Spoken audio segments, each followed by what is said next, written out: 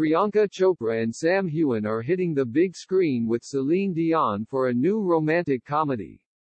The movie, called It's All Coming Back to Me, in reference to Dion's iconic hit, is set to come out on February 10, 2023, just in time for Valentine's Day. According to Deadline, the movie centers on a woman who tragically loses her fiancé. To cope, she starts texting his old cell phone. But that number now belongs to a new man going through a heartbreak of his own.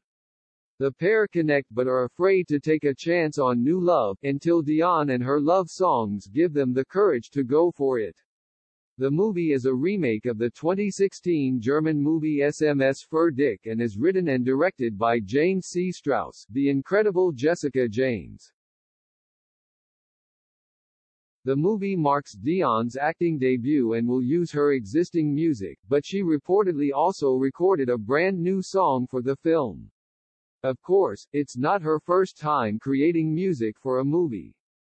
Dion recorded the title song from Beauty and the Beast with Peabo Bryson in 1991, and in 1997, she recorded the theme for Titanic, My Heart Will Go On, which is Dion's best-selling song of all time.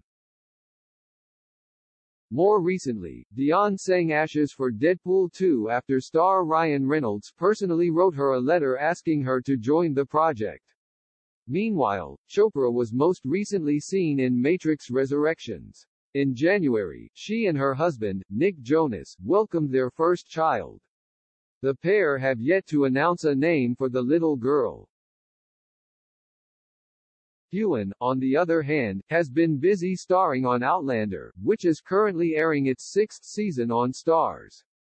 The historical romance has already been renewed for a seventh season, which is currently in production.